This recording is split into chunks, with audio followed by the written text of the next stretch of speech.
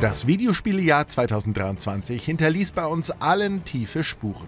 Selten wuchs der Pile of Shame so hoch, denn ein Highlight folgte auf das andere.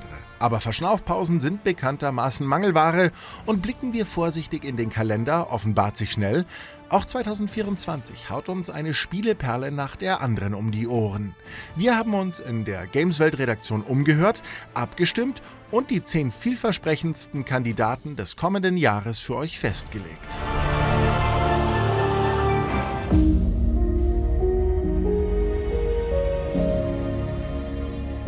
Ersten Moment hat die Entscheidung von Square Enix, das Remake von Final Fantasy VII in drei Teile aufzuspalten, für Verwunderung und Unmut gesorgt. Zwar ist das Original von 1997 mit über 40 Stunden Spielzeit nicht gerade kurz, aber eine Drittelung roch eher nach Geldmacherei. Mittlerweile sind wir aber schlauer und wissen, dass die Final Fantasy VII Neuauflage mehr ist als ein bloßes Remake und vielleicht eher den Titel Remix oder Neuinterpretation verdient hätte. In Rebirth lassen Söldner und Hagel Connoisseur Cloud Strife, Blumenmädchen Aerith und ihre Gruppe von vermeintlichen Ökoterroristen die dreckige und ein bisschen zerstörte Industriemetropole Midgar hinter sich, um in der umliegenden Open World ihr Schicksal neu zu schmieden.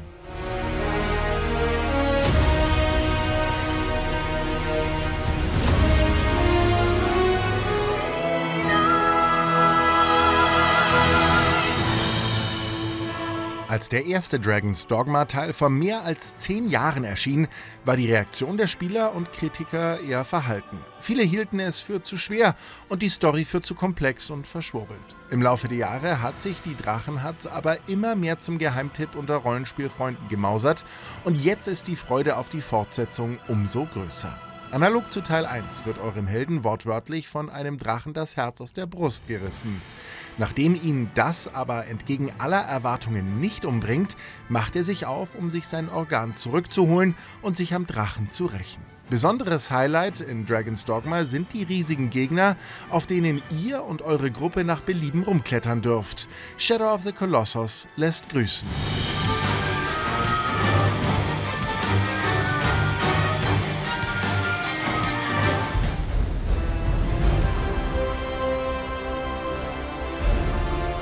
Im Kino hatte Indy erst kürzlich seinen fünften Auftritt. Ein Videospiel mit dem abenteuerlustigen Professor liegt dagegen schon ein Weilchen zurück.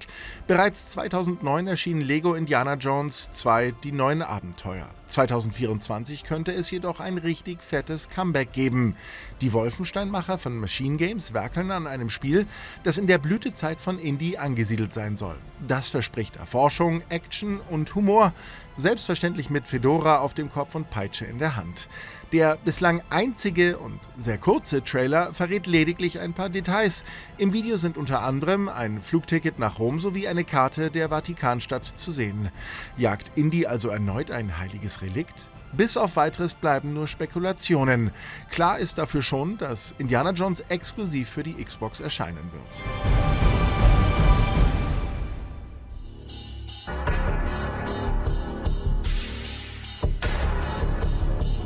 Marvel tritt mächtig aufs Gaspedal, was Spieleumsetzungen angeht. Spider-Man, Wolverine und nun auch noch Blade.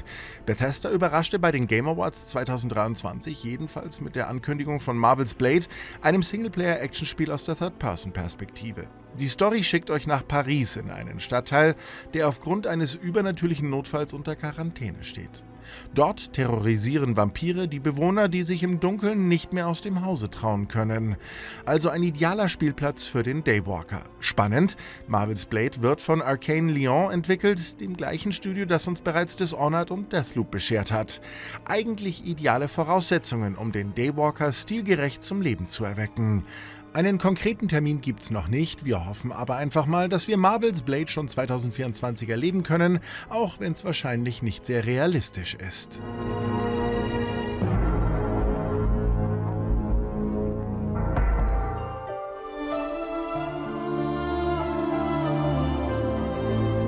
Mit Ori and the Blind Forest hauten die Moon Studios im Jahr 2015 ein Metroidvania auf den Markt, das mal eben das gesamte Genre umstülpte. Die wunderschöne Grafik in Kombination mit der genial aufgebauten Welt sorgte für einen sofortigen Kultstatus des Debüts. Der Nachfolger setzte konsequent daran an und entsprechend sind wir nun gespannt auf das nächste Werk des international verteilten Teams. No Rest for the Wicked setzt abermals auf eine handgezeichnete Optik, geht spielerisch aber andere Wege und ordnet sich eher ins Genre der Action-Rollenspiele ein. Laut dem Studio laufen die Kämpfe präzise und brutal ab. Mit Button-Mashing kommt ihr allerdings nicht weit. Dazu ist die Welt genre- und typisch eher vertikal aufgebaut. Außerdem dürft ihr im Koop losziehen, wenn ihr die Insel Sakra nicht alleine retten wollt. Bereits der erste Trailer sieht so vielversprechend aus, dass wir richtig heiß auf die neuen Infos beim hauseigenen Showcase am 1. März 2024 sind.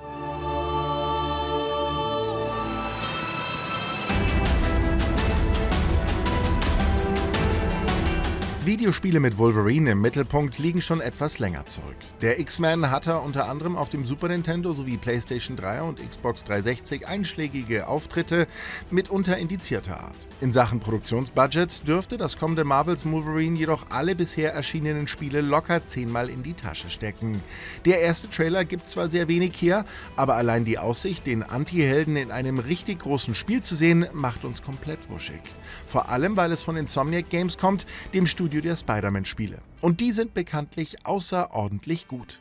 Erhält Wolverine eine ähnliche Behandlung, wird es ein absoluter Kracher mit viel Blut und somit ab 18 Jahren. Allerdings gibt's da auch einen Haken. Laut den Leaks bei Insomniac wird dieser Titel wohl erst 2026 erscheinen.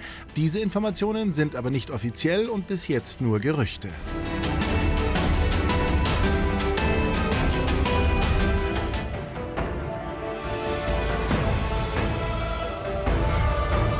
Das Souls-like des chinesischen Studios Game Science stellt einen kuriosen Fall dar. Denn der erste Trailer sah schon so verdammt gut aus, dass viele Skeptiker einen astreinen Scam rochen. Doch mit jedem Video steigt die Zuversicht, dass Black Myth Wukong tatsächlich ein geniales Spiel wird. Bei der Präsentation in einer einzigen langen Kameraeinstellung ließen sich die Entwicklerinnen und Entwickler von God of War inspirieren und das Kampfsystem erinnert an Sekiro auf Steroiden. Angelehnt an den Literaturklassiker Die Reise nach Westen spielen wir den König der Affen Sun Wukong und dürfen uns in diverse alternative Formen wie fliegende Insekten und andere Riesenmonster verwandeln. Auch beeindruckende Bosse sind mit von der Partie und scheint also ein echtes Genre-Highlight zu erwarten.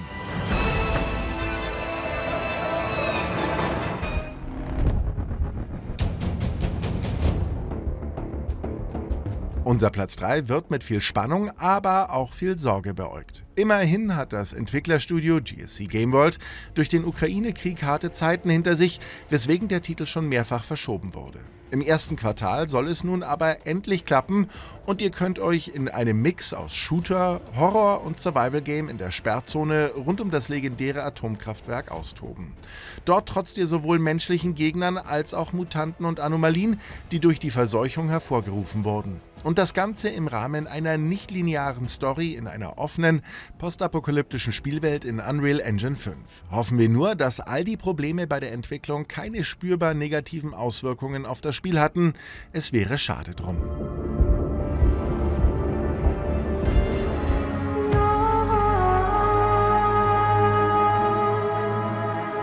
Bereits das erste Hellblade zog uns durch seine dichte Atmosphäre und die grenzgeniale Umsetzung der Psychose von Senua in seinen Bann. Den Nachfolger Senua's Saga stellte Ninja Theory bereits 2019 vor und hält sich seitdem mit konkreten Informationen gekonnt zurück. In unregelmäßigen Abständen bekamen wir Trailer vorgesetzt, die vor allem eine bombastische Grafik versprechen.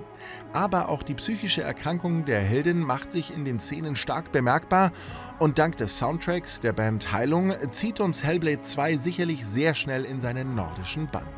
Hoffen wir also, dass das Entwicklerstudio den angepeilten Release 2024 einhalten kann.